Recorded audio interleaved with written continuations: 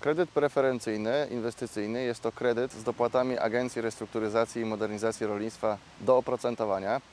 Pomoc polega na tym, że częściowo agencja pokrywa koszt kredytu. W dniu dzisiejszym oprocentowanie dla klienta y, takiego kredytu wynosi 3% w stosunku rocznym.